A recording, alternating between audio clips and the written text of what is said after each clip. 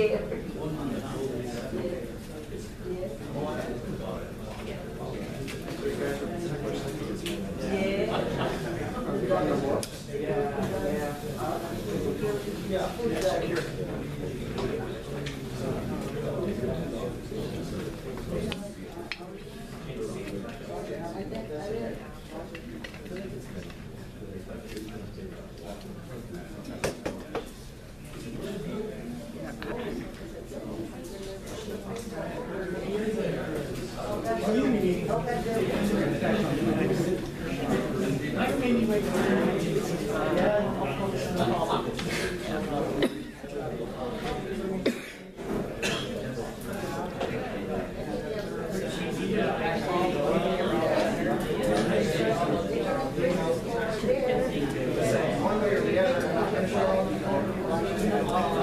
This is a memorial for Marvis Phillips.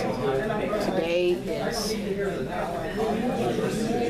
May 16th, 3 o'clock.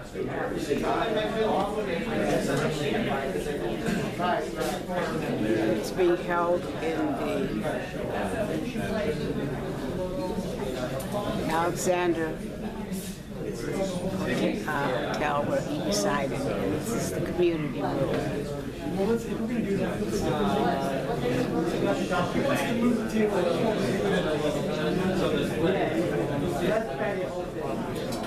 I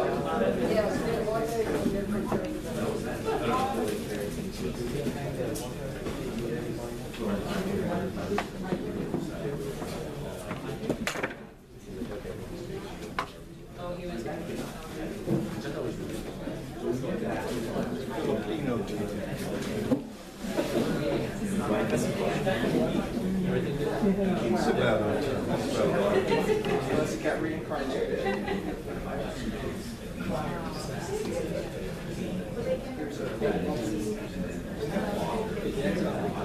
you.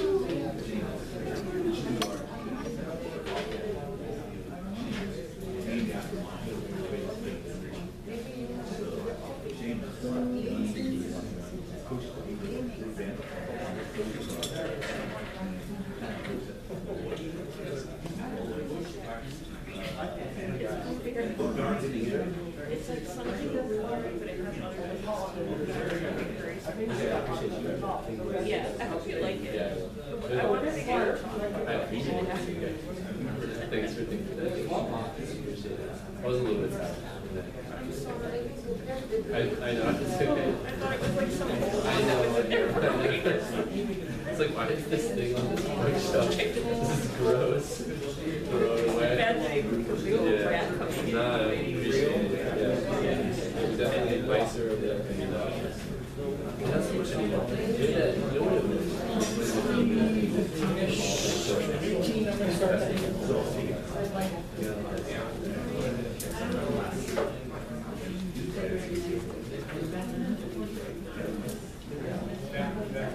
you.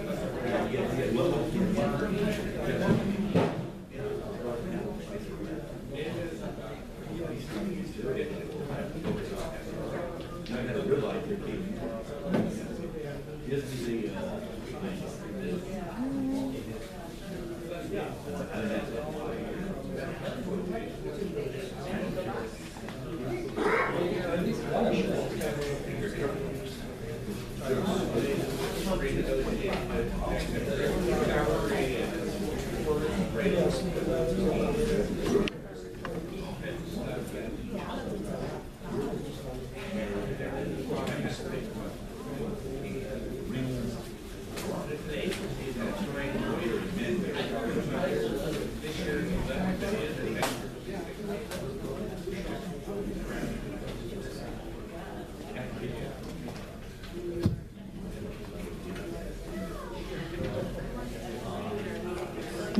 Afternoon, everyone.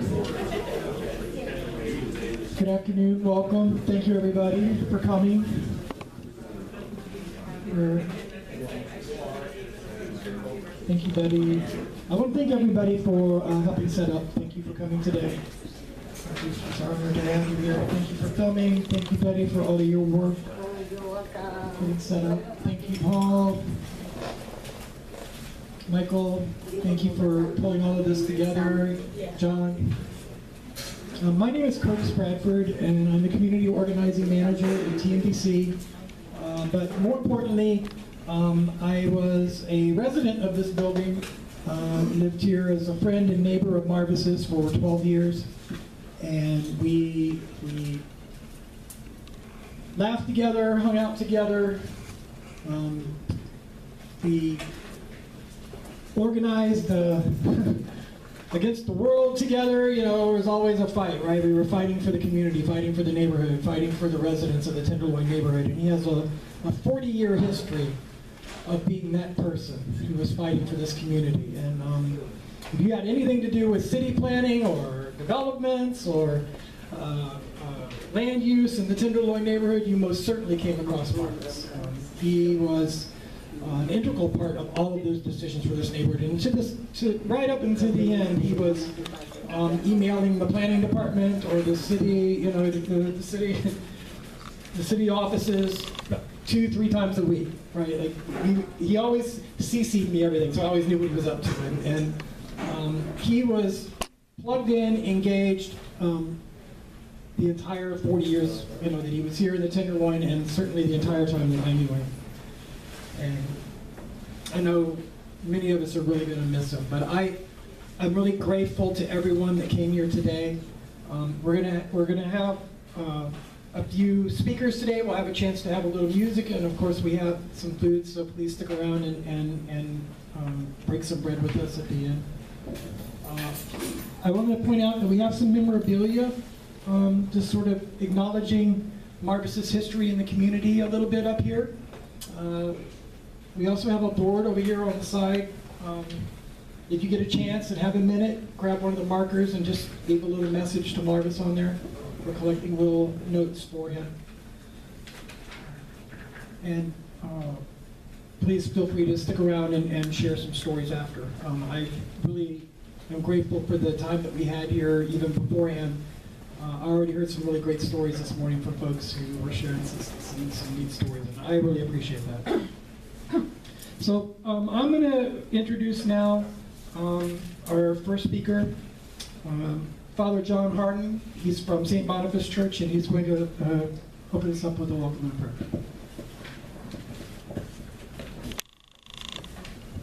Thank you. This is my third, third time at uh, St. Boniface, uh, living there and uh, being involved with St. Anthony's. One of the things that I, I found so very important, I think this is true of all of us, that we want to belong. We want to belong to someone, some group, so that we feel that we are important and that we're all children of God. So that's the most important thing, you know, politics aside, all of that. We want to feel like we are part of a community.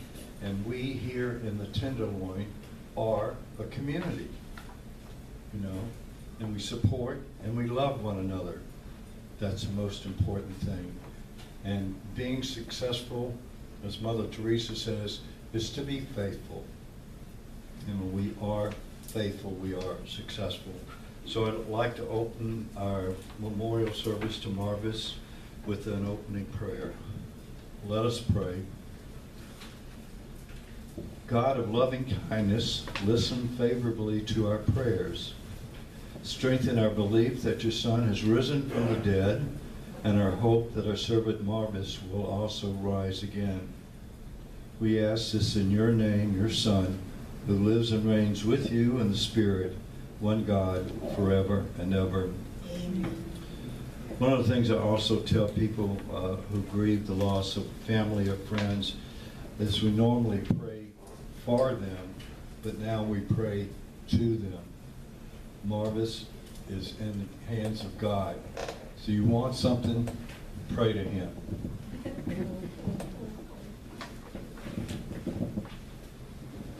Thank you, Father. Um, Next up, um, we're going to have a reading of Psalms 23 from uh, Betty Duran. Oh, there you are, Betty. Get up here, Betty.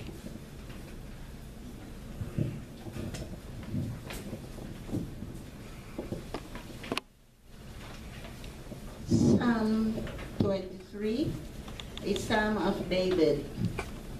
The Lord is my shepherd, I shall not want. He makes me to lie down in green pastures. He leads me beside the still waters. He restores my soul. He leads me in the paths of righteousness for his name's sake. Yea, though I walk through the valley of the shadow of death, I will fear no evil. For you are with me. Your rod and your staff, they comfort me. You prepare a table before me in the presence of my enemies. You anoint my head with oil. My cup runs over. Surely goodness and mercy shall follow me all the days of my life, and I will dwell in the house of the Lord forever.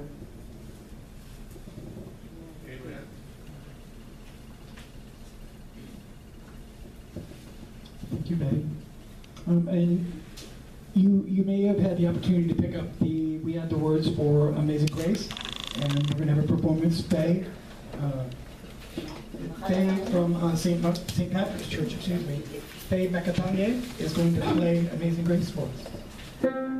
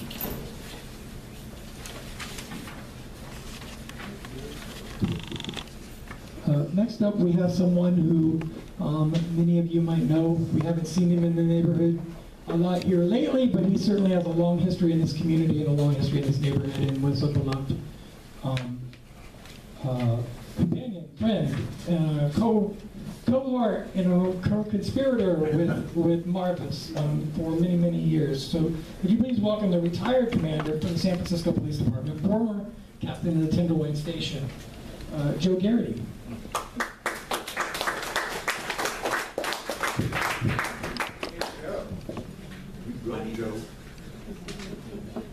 Can you hear me? I'm not gonna hear. I mean, uh, Michael had emailed me to speak today. I'm totally honored about uh, Marvis. I've known Marvis for many, many years. And uh, I've been here many years. Uh, I mentioned earlier that uh, I I don't know if it'll happen again. I was a patrolman, sergeant, lieutenant, captain, and then I became a commander, and I- I went to the Vatican downtown, as I said. But Marvis and I go back many years. I first met Marvis uh, many years ago in front of the, the Ritz Club. So you had the Ritz Club, Club Taylor was on Taylor Street, was a bar. Then you had the Ritz Club, then you had the Hotel Ritz. And Connie's was across the street was another, was a merchant seaman bar, and Marvin was out there, and, you know, Mar- Marvin had battled addictions, you know, at that time. And so it was like, hey, Marvin, you gotta, you can't sniff glue out here, it's kinda against the law. But nowadays, it doesn't matter, as I walked up here today, it kinda broke my heart a little bit, as I was walking up the street. Uh, I saw a couple of doing fentanyl, and it's, kind of broke my heart a little bit because we worked so hard down here to keep this area clean. It was sad. Then as I walked in next door at two thirty-two, there was a young woman and another fellow there, an African-American kid, and they, the guy, the woman had, was out. Watch it, he was radio car drive right by. I don't want to wave it down and be a pain in the butt to somebody, you know, I'm an old, old, I guess my wife says, uh, uh, she always remind me it's the twenty-first century, it's not the twentieth century. It's not nineteen ninety. So, I mean, I asked the guy in the lobby here, you know, we go down, got some water, water for and the guy did say she did some Oxycontin, so hopefully the ambulance would come and help her out. So it was just a different area. The Tenderloin has always been an area, I always said, when I was up working down here with the group of people at the Tenderloin, the officers and the sergeants, it was, we had more of a community-based balance with everybody. You know, from Hastings to Salvation Army to the Glide to uh, St. Boniface to uh, St. Anthony's Women's Children's Center to the Boeddeker Park, the kids. And Mark is always helpful in that. He's always in community organizations with Michael and John Nolte. They're very helpful for what we had to do down here. And you know, this area, I always say, and I hate to say it, uh, Father uh, Hardin, uh, there's saints and sinners in this area. People forget that, not the police especially. So keep that in mind, and there's been a big influx, and, you know, today it's, I'm kind of honored to be here with uh, Father John, he's back at St. Boniface. Uh, you always want to know, always priest, that says OFM on the back part of his name, that was Order Friar Minor, that's the Franciscans, so they're the, the boots on the ground for the Catholic Church, you know, remember that. So, and then Brian Sheehy's from Future Bars, he owns a lot of places around here, uh, as I call it, saloons, saloon, saloon keeper. And then there's the heart, there's the uh, Obi-Wan Kenobi of Star Wars here, Don Falk. I won't mention the Evil Empire, uh, that's TH, THC, he's TNDC, right? And then you got the heart and soul, well, the, the soul of UC Hastings over there, uh, Dave Stewart, who's the, been the the CF, what is your title, CFO? CFO still. CFO. Get important titles here, OFM, CFO, I can't keep them all in place. But Marvis was a unique individual, and we used to do this a long time ago. Um, Like I mentioned Marvis, he's passed away, and then Merton Crane was the guy who lived across the street. But we had other people, people remember uh, Malton Manor, uh, the Manor House? Mimi ran the restaurant there for many, many years. yeah, Mimi, Mimi, she was a yes. saint. So we had a kind of like a, account for some of the people in the Tenderloin that were seniors, people, you know, the sergeants would pass the hat around, lieutenants, only two lieutenants ever didn't want to pay, but we'd throw some bucks in and then we'd go pay the accounts. Before Marvis met Loretta, I said he had some issues and he was skinny then. So we went down there, I was telling, uh, Michael Nolte and I was telling Curtis earlier, Marvis was in there and guys, Marvis was skinny at one time. So we had to get the bill one time. and, You know, Marvis was putting weight on, putting weight on, putting weight on. Hey, Marvis, you know, kind of like triple everybody else's. You know, he was going there four, five, six square meals a day. He was, because his addiction was over with. And so, you know, the diabetes and heart disease get you. I the drugs would have, you know. But Marvis was one of those people, and he met Loretta. And then Ken Segru, Sergeant, since he's passed, he's passed away. Uh, we, he was the best man at their wedding, Marvis, and I was, I we went down the flower mark, I guess I was the flower boy or flower, flower sergeant or lieutenant, because I got the flowers for Marvis. So Marvis was unique, and, you know, a lot of things he did with the community groups, there's the, the long list that uh, Michael did and the various, he, he did, he was kind of, they did a lot of work for the community, Marvis did. But I think the best thing is that, how many remember when Marvis was, used to be out there with his yellow helmet and orange vest directing traffic? Any remember, did you ever, you ever see him do that? Probably, this is more in the nineties and early two thousands. So he, he was like a block captain or safety